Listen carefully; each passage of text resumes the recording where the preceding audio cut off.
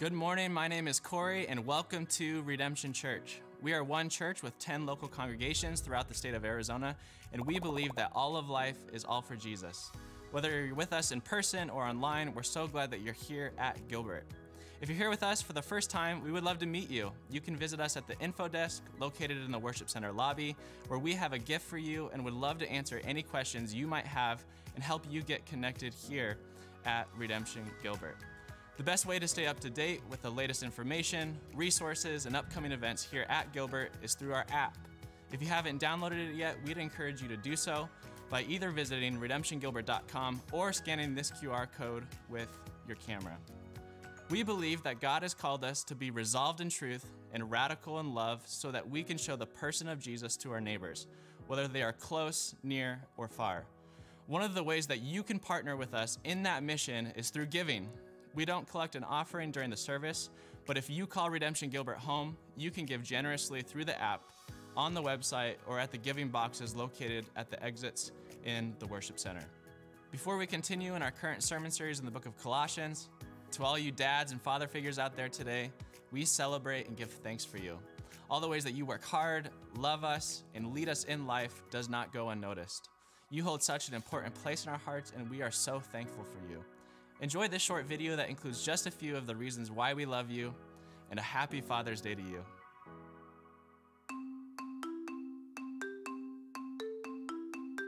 So, what I like about my dad is that he's just always there for me and he's just really working hard for every one of us. Uh, he takes me to a lot of restaurants and we have fun. That he was there for me when I had surgery when I was a baby. He was always there for me when I ever fell down or got sick. That he helps me with sports when and when I need help, he always helps me out. Hmm. He likes to take me to fun places and and he gives me treats and candy all the time and whenever I'm bored he always gives me ideas of what to do and he always helps me with everything. He tries to jo- tell jokes. It's hilarious. He can't even make a funny joke, and he tries to trick me, but I'm getting too smart for all his tricks. Thank you, Dad, for being there for me and working hard and taking me to fun places. I like my dad because he's the best. I like it when he plays with me. Um, I love to play with my dad. Um, the dragon game. I like uh, playing just games with him. It's really fun. Uh, I love that my dad's the coach of my softball team and that he's um, really nice and funny. Um, my dad is cool and funny. He um, helps me when I need help. Um, I love my dad because he's really nice and he plays with us all the time. He makes everything fun, and when he's sick, um, we always come near him and have fun with him. Um, well, sometimes we'll have Nerf wars, um, and then he uses his big gun and then he hurts us. Um, but then sometimes we'll wrestle him and we'll chase him upstairs, and then he screams like a girl, and then we all laugh. I love my dad be- because he is he's funny and can be weird sometimes. can you tell us what you love about your dad? I like my mom. Even on Father's Day, mom's still getting the love. Hey, can we uh, can we have the fathers stand up and let's just formally cheer our fathers on and thank them.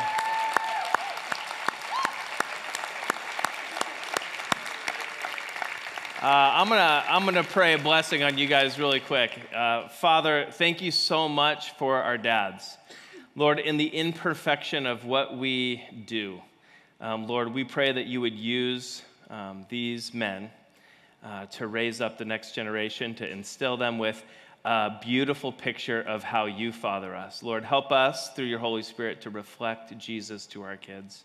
In Jesus' name we pray. Amen. Guys, thank you so much. That uh, video is an interesting window into what kids really like feel from their dads. It's really great. And I just got some great ideas in parenting. So I got to figure out what this dragon game is. I feel like we should be playing that.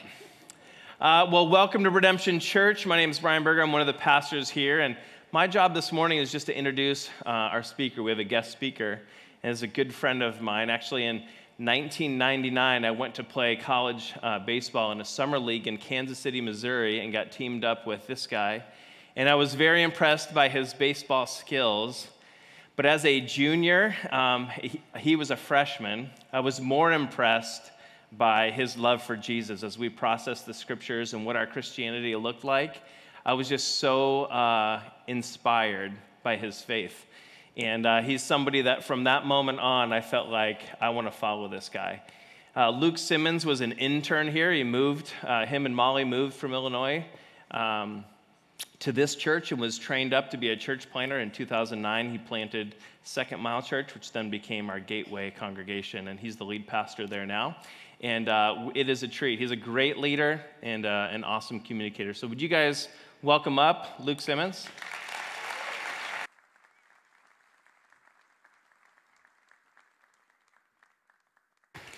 Awesome. Well, it's great to be here. Uh, thank you so much for that welcome. It, uh, it really does feel like coming home. Uh, Molly and I actually realized that uh, last week marked 20 years since we moved here. And we moved here, as Brian said, really to be part of this church, to uh, be part of what God was doing. There was a heart and a vision to um, see uh, the work of God go beyond this campus and beyond that generation. And it's just so cool to now be part of that and trying to keep that thing going. Uh, it does feel like a homecoming. It's great to see so many familiar faces. And it's awesome to see so many unfamiliar faces. I just love how God keeps working here at Redemption Gilbert. I'm a father. Uh, Molly and I have four kids high school, middle school, elementary school, preschool. Pray for us. Uh, but it's great. My, my oldest two took me out to coffee this morning, and uh, to have some kids that have some money to take you out to coffee, that's actually like, praise God for that. So, um, but it's great to be here. And it's, uh, it's interesting to be here, especially on Juneteenth. Happy Juneteenth. Uh, that's officially today, uh, though uh, some of you will be celebrating that and taking tomorrow off. Yeah, we can celebrate for that. Now, um, I realize a few people in the room maybe are familiar with Juneteenth, grew up commemorating it, but for a lot of us, it's pretty new. And so um, it, it's not that it's a new thing, it's just new to us.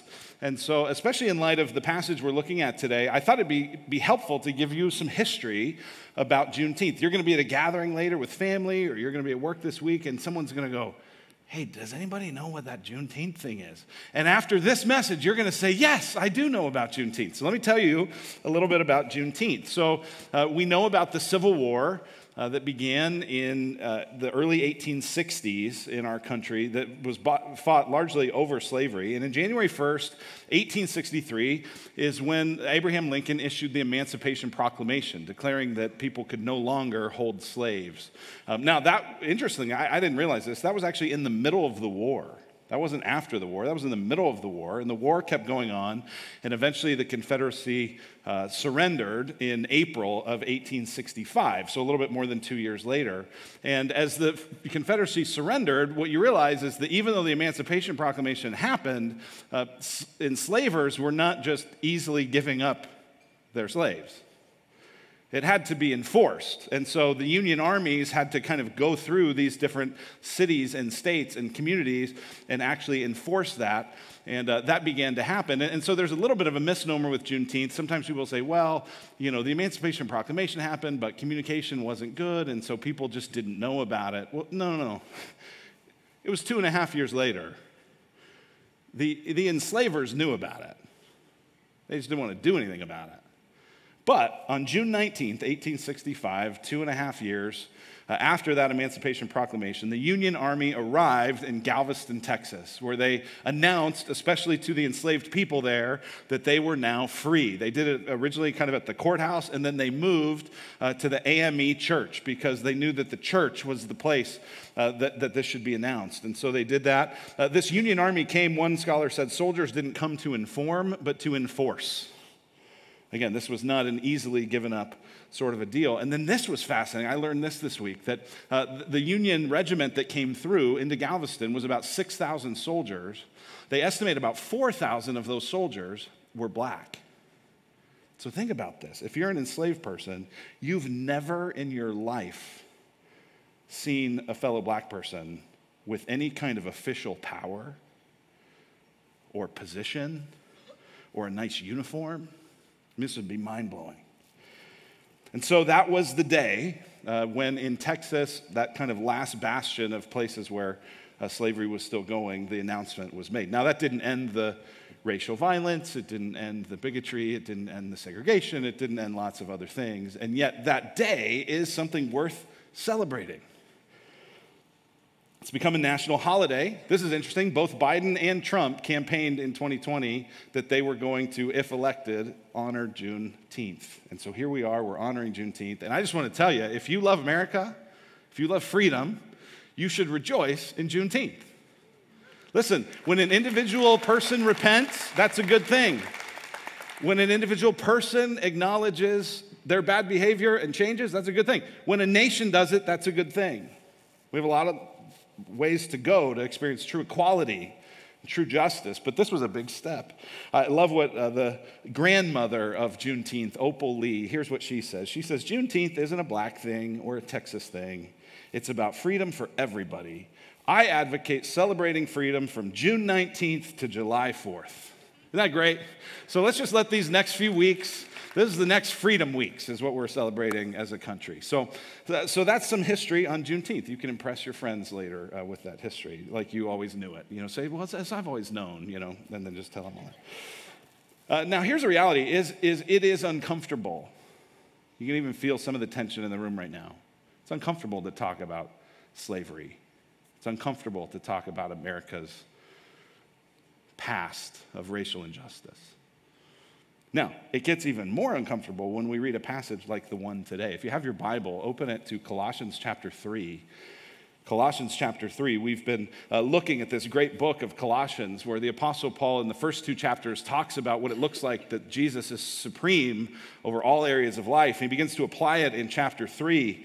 He begins to talk about our identity in Christ and the new character that we have in Christ and uh, the reality that uh, we're supposed to put on love. And then this new way of, of relationships in Christ. He talks about husbands and wives and children and their parents. And then today we get to verse 22, and I'm reading from the ESV. It says, Bondservants, obey in everything those who are your earthly masters. The NIV, which was read earlier, says, Slaves, obey your earthly masters in everything. So you're talking about slavery, you're talking about America, then you're talking about the Bible. Wait, wait, wait. Slaves, obey your earthly masters and everything? Bond servants, obey in everything those who are your earthly masters? What do we, what do, we do with this? How, how do we understand slavery in the Bible in general? And then how do we understand this passage? That's what we're going to really look at here today is, is I want to kind of ask two questions. The first one is going to be, uh, does the Bible support slavery? The second one is going to be, what is Paul actually trying to teach us in this text. So uh, it's a lot to bite off. That's where we're going to try to go. Pray with me. Let's ask God's help. Father, uh, do help us now. God, thank you for freedom. Thank you for uh, political freedom and uh, all kinds of other freedoms. God, thank you most of all for the freedom we have in Christ. And I pray for your help now to communicate your word in a way that's clear and faithful and that you would give me and give us your help. In Jesus' name, amen. All right, so the first big question, this is kind of an apologetic uh, little time I want to spend together is thinking through this, is does the Bible support slavery? Does the Bible support slavery? Th- this claim gets made all the time. If you're on a college campus, you'll hear this. If you're engaging with people online, if you're talking with people who are more skeptical about Christianity, uh, a lot of the place it comes up is when we talk about some of the moral or ethical dimensions of the Christian faith. We talk about human sexuality, we talk about th- those sorts of things. People go, wait, wait, wait, wait, hold on yeah, yeah, yeah, yeah, you're doing all the Bible stuff, but don't you know the Bible supports slavery? People say, you know, passages like this slaves obey your earthly masters and everything. I mean, the Bible supports slavery. They'll say, you know, Jesus.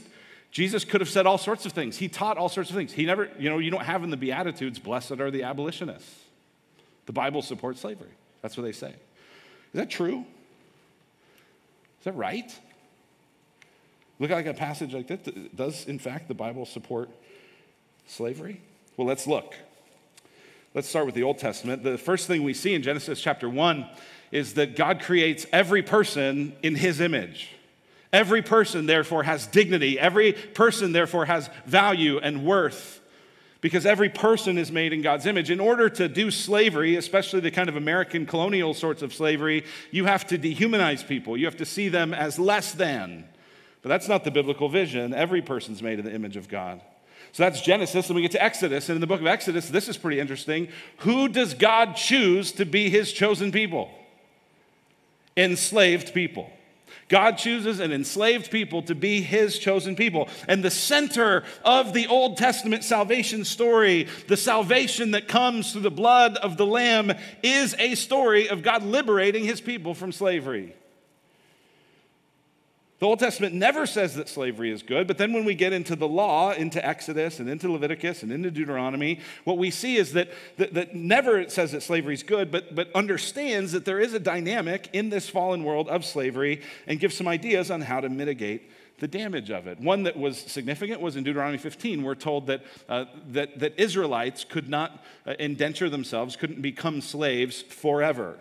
It was uh, against the Old Testament law to permanently enslave another Israelite.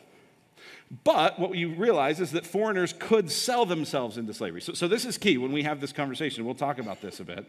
The, the kind of slavery we're thinking of when we think of American slavery and the Atlantic slave trade, that's a kind of involuntary slavery.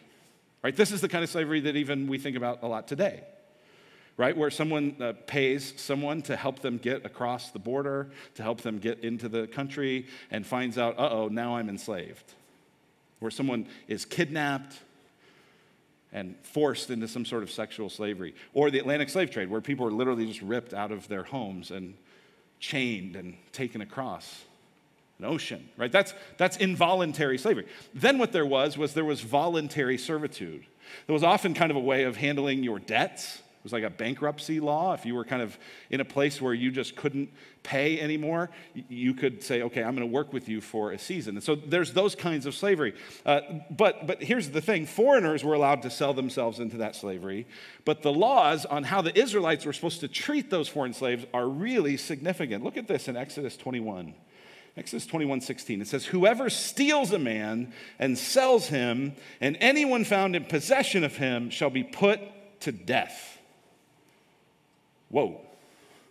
Okay, so that's what we're, when we think about American slavery, does the Bible support that kind of slavery? No. Right? You get it right there. If you steal a person, if you sell him, if you possess him, that's a, that's a capital offense in God's eyes.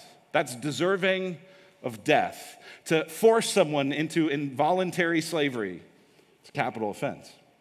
Now, the Bible acknowledges there are people who voluntarily enter into it. And even there, the Bible in the Old Testament law says, and here's some ways you have to treat those people. It says a few verses later, Exodus 21. When a man strikes his slave, male or female, with a rod, and the slave dies under his hand, he shall be avenged. So think about that. You hurt a slave to the point of actually killing a slave, you get the death penalty. That's not how it was in colonial America. This is, this is just like putting an animal down. You hurt them, you went too far. Hey, not your problem, not in the Bible. A few verses later, we see it's not just like a, a death thing, it's even if you injure them. Exodus 21 26, when a man strikes the eye of his slave, male or female, and destroys it, he shall let the slave go free because of his eye. If he knocks out the tooth of his slave, male or female, he shall let the slave go free because of his tooth. Now, this isn't saying those are the only two moments. You know, if you lost your eye, you lost your tooth, well, good luck or congratulations, you get out, right? Other, but, but what, here's what it's saying. If, if, if you injure, right, if you abuse someone that has voluntarily come into this relationship, you got to let them go. You, you release them. That is not like American slavery at all, where people were whipped and people were beaten and people were raped and people were brutalized. The Bible also says that if a, a foreign slave escapes and lands in Israel, you actually should treat them as a citizen. Look at what it says in Deuteronomy 23. You shall not give up a mas- to, a ma- to his master a slave who has escaped from his master to you. He shall dwell with you in your midst, in the place that he shall choose within one of your towns, wherever it suits him. You shall not wrong him. So, Old Testament never says slavery is good. It says there's a dynamic of slavery, it's in the world, and here's some instructions about how God's people are going to think about this differently. Then we get to the New Testament, it's kind of the same thing. It says, never says it's good, but it says if you can get out of it, you should. In fact, that's what Paul says in 1 Corinthians 7. 1 Corinthians 7 is interesting. The Apostle Paul's going through all these different stages of life. Because, you know, people come to Christ and they're in a situation and they go, well, now that I'm a Christian, what do I do? And in all these different situations, Paul says, hey, uh, you were unmarried when you came to Christ, you don't have to get married. You were married when you came to Christ, don't get divorced, stay married. He says, just stay in the situation you're in. But look at this 1 Corinthians 7 21. Were you a slave when you were called? Don't let it trouble you. Although, if you can gain your freedom, do so. If you can get out of this, get out of it. Now, the, the, the kind of slavery that's going on in, in the Roman world is more like that indentured servitude. It's more like uh, either you got, you got captured as a POW, that kind of a thing, that sort of thing happened. Oftentimes is what you just kind of got up to your eyeballs in debt. And rather than repossessing your house and your stuff, right, they said, okay, here's, here's what has to, it was like a bankruptcy law thing. It was a bit, a little bit, actually, kind of like joining the military. Right, join the military, you give up your rights for six years. You go where they tell you, you do what they want. Now, hopefully, the people in the military are nicer. But that's kind of the dynamic, right? This is very different than where we're kidnapping people and we're forcing them to be slavery. Nonetheless, Paul says if you can get out of that, do it. There's a whole letter about this. The letter Paul writes that's called Philemon. There was this man named Onesimus who had a slave named Philemon. Philemon runs away from Onesimus, gets to Paul, uh, comes to faith in Christ, and Paul wants to send him back to Onesimus. And he says, Hey, I'm sending him back to you, but here's what I want you to do I want you to uh, come, have him come back no longer as a slave, but better than a slave, as a dear brother. Philemon 15, perhaps the reason he was separated you for a little while is that you might have him back forever, no longer as a slave, but better than a slave, as a dear brother.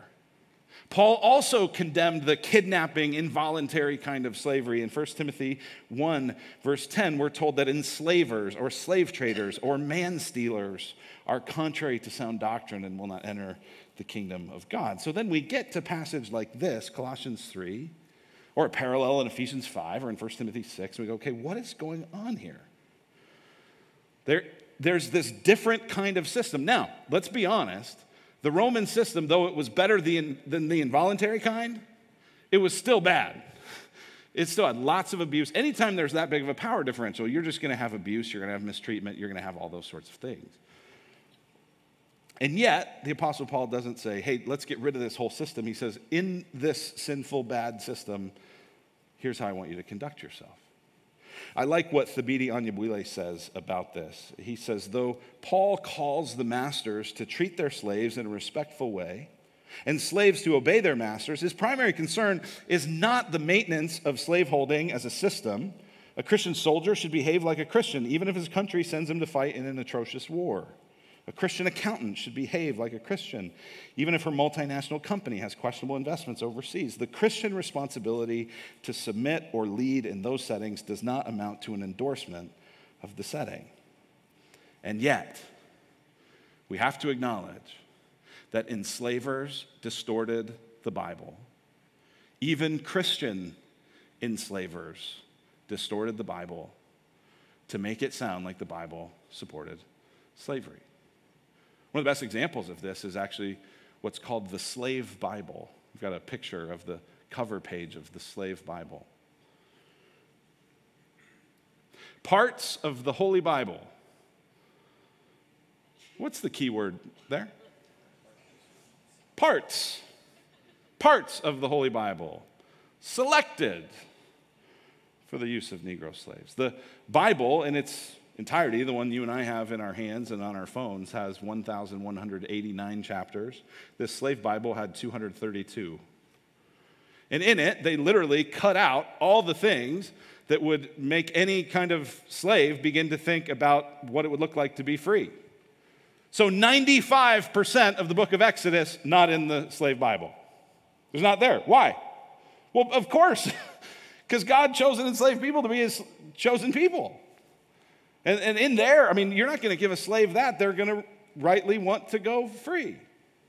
Here's the other thing that's interesting. This passage in Colossians that some people say, oh, see, there it is. That supports slavery. Well, do you know how much of the book of Colossians is in this slave Bible?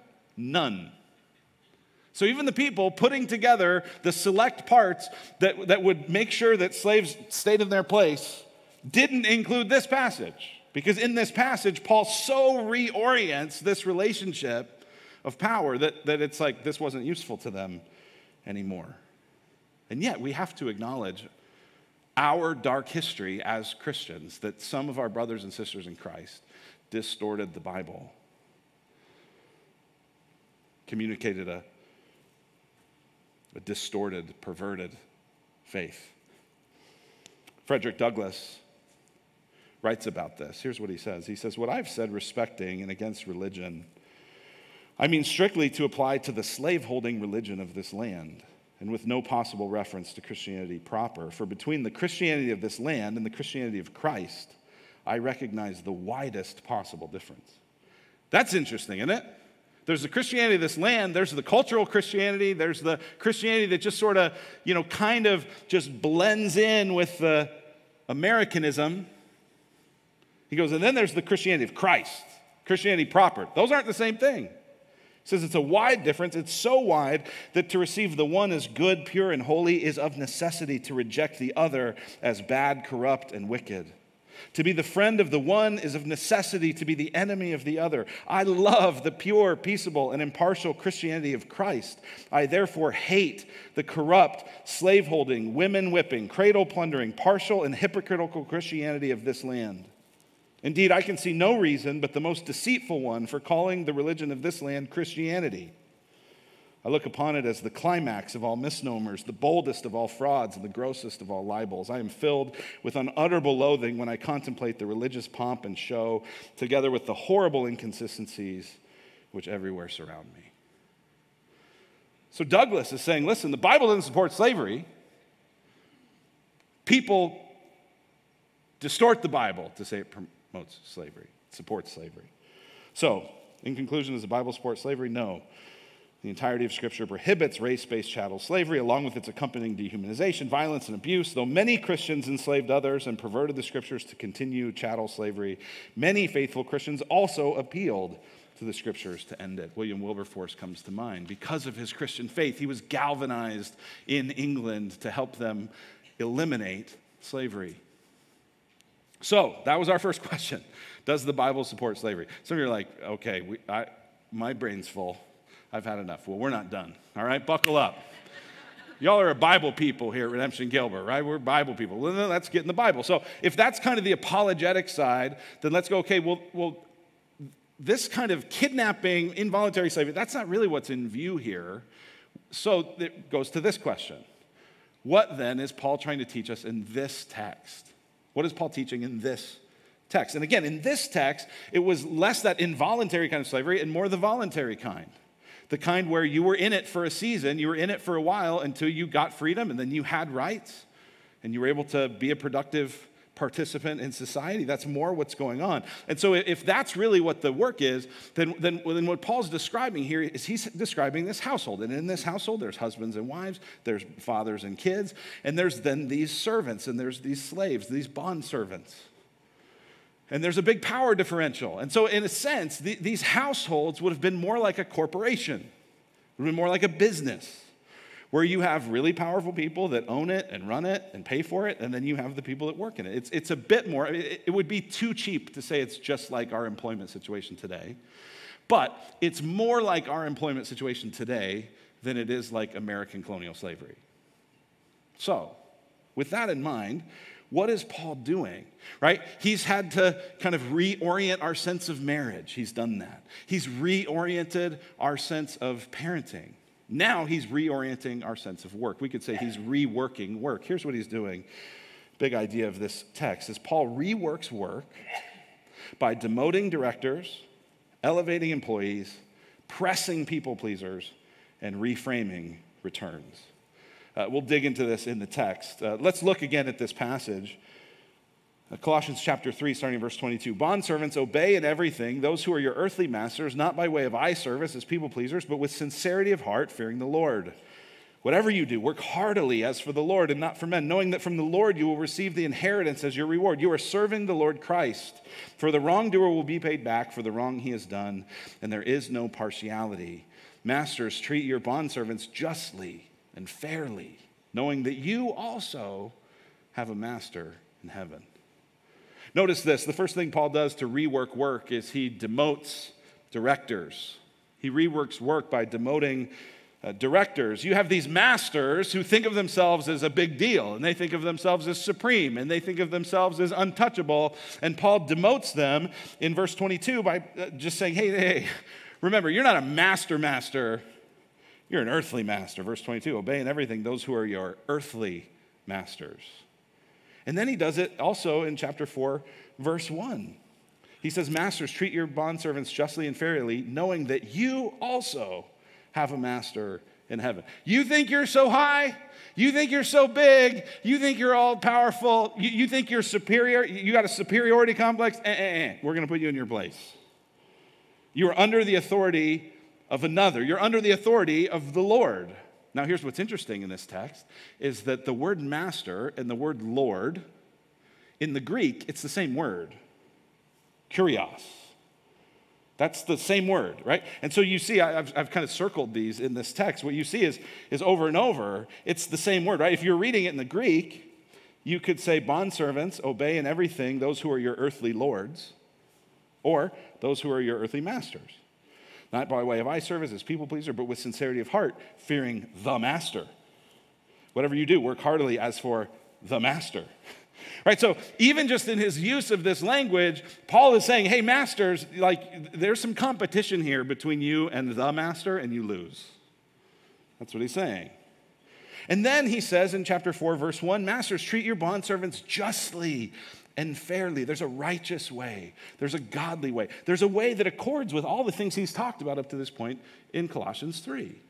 There's a way of love. You treat them like that. You put off your sexual immorality. You put off your rage. You put off your racial prejudice. You put all that stuff off and you put on Christ. You bind it all together in love. That's how you treat even those who are under you. As Brian said, I uh, got to plant the church that I'm uh, now leading. So I'm the founding pastor. And uh, so as a result of that, I just tend to have a significant amount of influence and a good significant amount of authority. And when, when I speak, it, it carries weight, I guess. And what I tell people is I say, listen, I'm not the smartest. I was just here first. That's it. I'm not the smartest. I'm not the best. I'm not the most talented. I was just here first. It's my way of trying to say, hey, I know you might like want to elevate me in some way. No, no, no, no. I was just here first. And here's the thing I will give an account to the Lord Jesus for how I treat the people who work under me because I have a position of leadership, a position of influence, a position of power. And you go, well, I don't have a position like that. I'm just an underling. Wait, wait, wait, wait. You got some power. See, some of you after this, you're going to go somewhere and your servants are going to prepare your food. And then they're going to bring it out to your table on dishes that they washed and prepared for you. And partway through the meal, they're going to say, My lord, my lady, how is everything? Can I get you anything? You have servants. Some of you this week, you're going to get on a plane and you're going to go somewhere for a, business meeting or a conference or something. And, and when you're at the airport, you're going to call your chauffeur. They're going to pull up with the Uber sticker in their car. Many of you have manservants and maidservants that pull up to your house and carry your Amazon stuff up to your house and drop it at the door. Listen, we all have power, and we all have times when there's a power differential. And what Paul is saying here is, is listen, if you think you're so high and mighty, no, no, no, no, get in your place. You can tell a lot about a person's character by how they treat the little people, by how they treat the people that can't get them anywhere. Paul says, hey, hey, hey, you're not the master, you're an earthly master. You're not the master, you have a master. So he demotes directors. The second thing he does is he elevates employees. See, employees, or in this case, the bond servants, could think of themselves not with a superiority complex, but an inferiority complex. And he, he says, Listen, you're not low. Here's what you are you are serving the Lord Christ. Notice, he doesn't say you should serve the Lord Christ or you could serve the Lord Christ or have you thought about serving the Lord Christ? He says you are. It's a statement of fact. You are doing this. You are serving the Lord Christ. And the Lord, I just love Lord Christ. Just kind of takes it up a notch. You know, he doesn't even say you're serving Jesus, you're serving the Lord Christ. You think you're serving your earthly master? No, no, no, no. You're serving the Lord Christ. One of the things that drives me nuts in kind of organizational leadership is how sometimes uh, somebody on our team will send an email or send a request to someone else on our team, and the person they send it to will just ignore it. They won't get back, they won't respond, they won't send the information, they won't do the thing. And so then what will happen after enough time passes is the person making the request will send the exact same request, but they will CC me on the email. And lo and behold, it gets done. Here, here's what Paul's saying. He's saying, hey, you're in a position of lowliness, but here's the deal Jesus is CC'd on all the emails that come to you. You're working for him. He's your Lord, He's your master. You, you, don't, you don't work for this guy, you don't work for this woman, you work for the Lord Jesus Christ. So he takes the, the superiority complex and he says, hey, get in your place. But then he takes the inferiority complex and he says, hey, hey, get in your place. You serve the Lord Christ. Now, in this uh, dynamic of serving the Lord Christ, he presses back on a couple of other things. And that leads us to number three is that Paul reworks work by pressing people pleasers. He says, I want you to uh, obey in everything those who are your earthly masters, not by way of eye service as people pleasers, but with sincerity of heart, fearing the Lord. Whatever you do, work heartily as for the Lord and not for men. He says, here's the temptation is your temptation is to do it for eye service, for people pleasing, for just for men. You're just doing this because it looks good, it looks right. Like it drove me crazy when I was in college. We would do all these workouts and all these sprints. And uh, a lot of times what would happen is the strength coach, you know, at the beginning of this, of this like conditioning workout, uh, the, the baseball coaches would leave and uh, they'd just hand us off to the strength coach. And the strength coach would take us through this rigorous workout, lots of sprints. And, and so by the end of it, we're dying, we're, you know. And, but by the end, the coaches would come back. And there would always be a couple guys on the team that hadn't really gone all out the whole workout because they were saving up a little bit for the end. Because when, they, when the coaches came back, whew, man, the end of practice, they're finishing first. And you, you know what? I hate those guys. That is nonsense. Like that, give it your all the whole time. That's what Paul's saying. He said, Oh, you don't snap to attention just because the boss walked in. He's saying, You work for the Lord, not for men. You, you don't just do the right thing when they're watching, you do the right thing all the time. You carry yourself with integrity. That's what integrity is. It's that you're the same person when people are watching and when they're not, because you know that above it all, you live for an audience of one. So that's what he says, not by way of eye service as people pleasers, not for men. But here's what I want you to do with sincerity of heart, fearing the Lord, work heartily as for the Lord. Uh, my dad, uh, both my parents were middle school teachers. My mom was a middle school teacher before my dad. He had gone back to get his degree. And so my mom was at this school called North Middle School. And my dad was doing his subbing. And uh, and so he got some sub opportunities. He got a long term sub job at the same school. And the principal said, Hey, hey, we, don't, we have a policy here. We don't allow husbands and wives to teach at the same school. Mr. Simmons, just so you know, you'll never get a job here. But the last week of school, the principal walked through the halls and everyone was watching TV except for Mr. Simmons. He was still teaching and he got hired at that school because he was doing it. He was doing the right thing. He was, he was working heartily. It wasn't about who was watching, it was about what was right. So Paul presses people pleasers. Finally, Paul reworks work by reframing returns.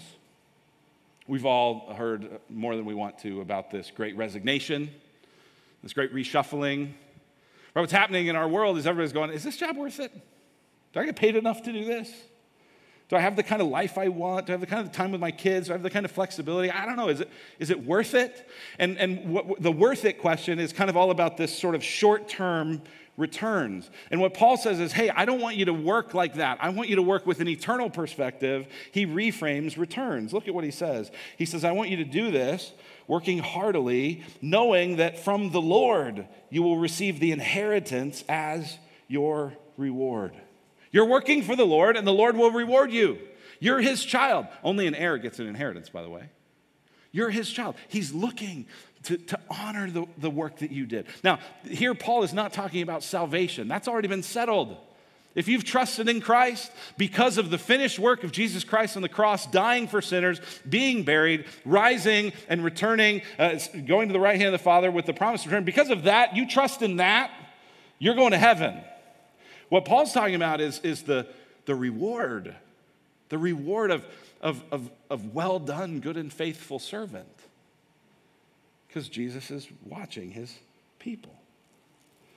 He also says, hey, there's going to be some loss if you, if you eye service this thing, because the wrongdoer will be paid back for the wrong he's done, and there is no partiality.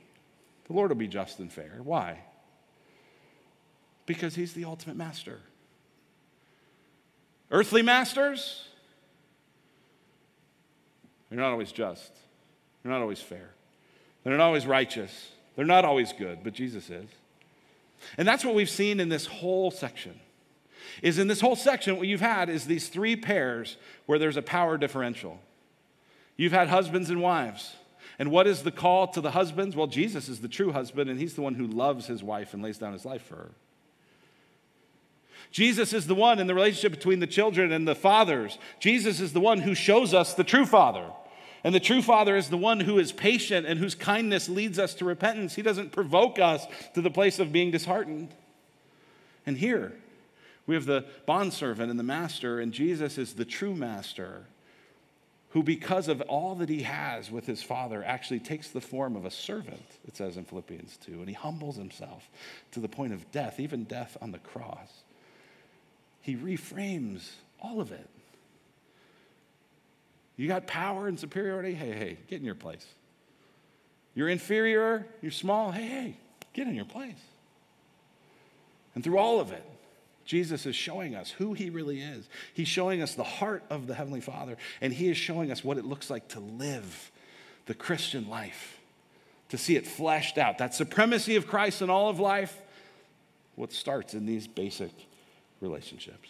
Let's pray.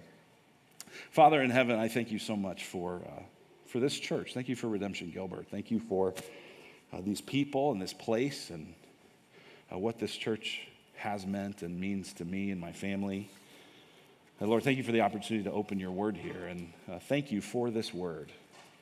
Thank you for just how we keep seeing as we study the scripture, we just keep being surprised by it. Surprised at how it just so reorients everything that seems normal in our world. Lord, we're often drawn to power that feels bold and abrasive and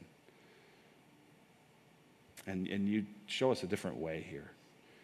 So help us to appreciate that. And now, as we come to the communion table, help us to celebrate that. We pray in Jesus' name. Amen. Well, it is time to respond by celebrating communion and by